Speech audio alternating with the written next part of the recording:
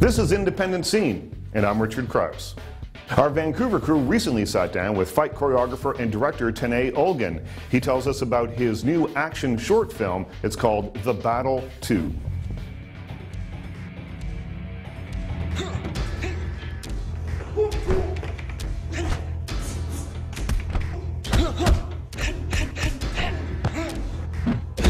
Well, the Battle 2 is a continuation of the first battle we did a couple years back.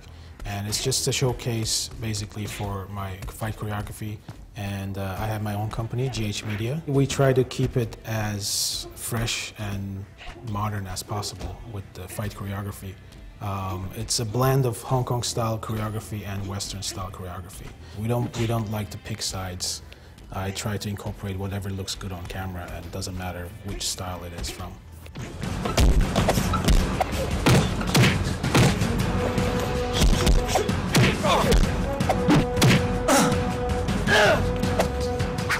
Well, the target audience for my projects is mostly martial arts uh, film fans, and uh, but we try to find a balance between storytelling and the fight scenes. We don't want to be known as just uh, fight choreographers. We want to be storytellers, but also fight choreographers.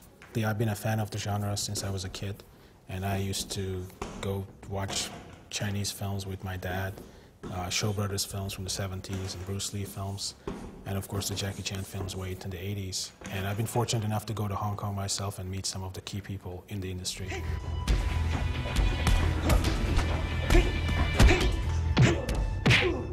The, the Battle 2 was shot on a Panasonic DVX 100B. Uh, shoots in 24p, as you know. And uh, we also use an SG Pro 35mm ad adapter, a lens adapter. And it was, post-production was done on a Sony Vegas. And we had the help of a professional stuntman uh, called Brian Ho, and also an accomplished martial artist named Vaughn. Uh, and uh, it, again, it was self-produced with minimal budget. We're trying to basically fill a gap in what we feel there's a gap in the independent martial arts action genre in, in, in Canada.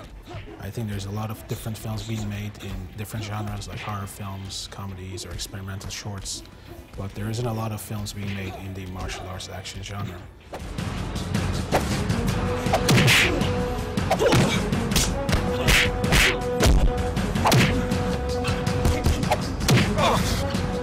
I think the secret to making independent films is creativity. That's the number one thing because what you can't produce with money, you have to produce with creativity and ideas and collaborations. And uh, so planning ahead is number one. You have to really plan your locations and your cast.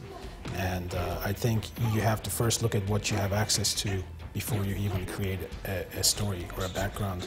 Because if you plan different things, but once you realize you don't have access to those things, the project's not going to happen or it's not going to be what you thought it would be. So it's best to, uh, to see what you have access to, what you can do first, than uh, create a story based on all those things available to you.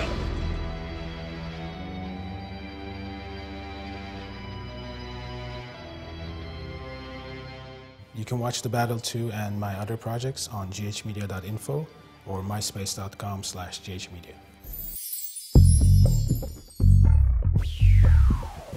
Now, for more information about Independent Scene and some online episodes, check out our website. Thanks for watching. I'm Richard Crouse.